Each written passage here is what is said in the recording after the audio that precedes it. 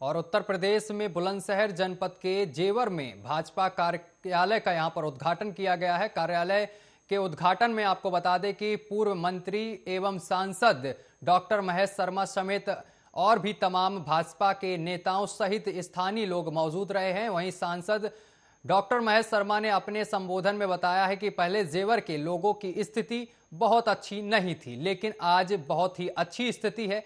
भाजपा सरकार में जेवर के लोगों को बहुत कुछ मिला है। एयरपोर्ट बनाया जा रहा है और किसानों के भी हित में सरकार काम कर रही है।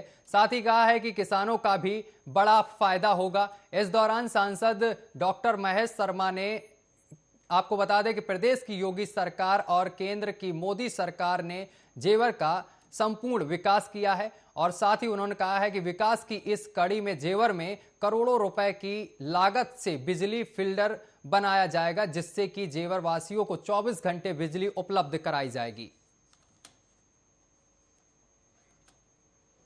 सरकार ने पिछले 2014 के बाद से जब मोदी जी की सरकार आई और प्रदेश के अंदर योगी जी की सरकार गुणात्मक परिवर्तन हुए और खास तौर पर जेवर क्षेत्र, जो एक पिछड़ा क्षेत्र कहता था, और मैं समझता हूँ यहाँ के लोगों ने बहुत कष्ट से लिए लेकिन अब जेवर का भविष्य उज्जवल है।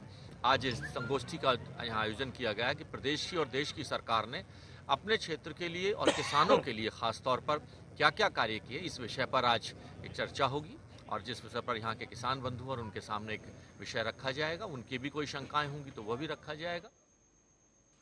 उत्तर प्रदेश के मुरादाबाद जनपद में पेट्रोल और डीजल के दामों में लगातार हो रहे बढ़ोतरी के विरोध में आज शिवसेना के कार्यकर्ताओं ने अपने हाथों में कटोरा लेकर सड़कों पर भीख मांगी है। और केंद्र की मोदी सरकार के खिलाफ जमकर यहाँ पर विरोध प्रदर्शन किया है। साथ ही भीख में मिलने वाले पैसे को प्रधानमंत्री फंड में जमा करने की बात शिवसेना के कार्यकर्ताओं द्वारा कही गई है।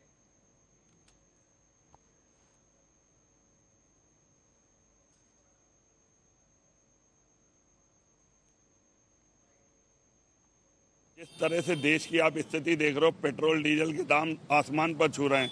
पिछले तीन महीनों से किसान सड़कों पर बैठा हुआ। छात्र आज जगह जगह आज रोगी से लेकर छात्र और हर आदमी महँगाई को लेकर त्रस्त है।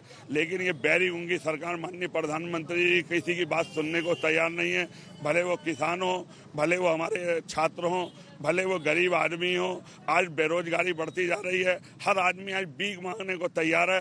तो शिवसेना आज सड़कों पर बीक मांग करके माननीय प्रधानमंत्री जी के कोष में पैसा जमा करेगी, क्योंकि प्रधानमंत्री जी को पैसों की अति आवश्यकता है।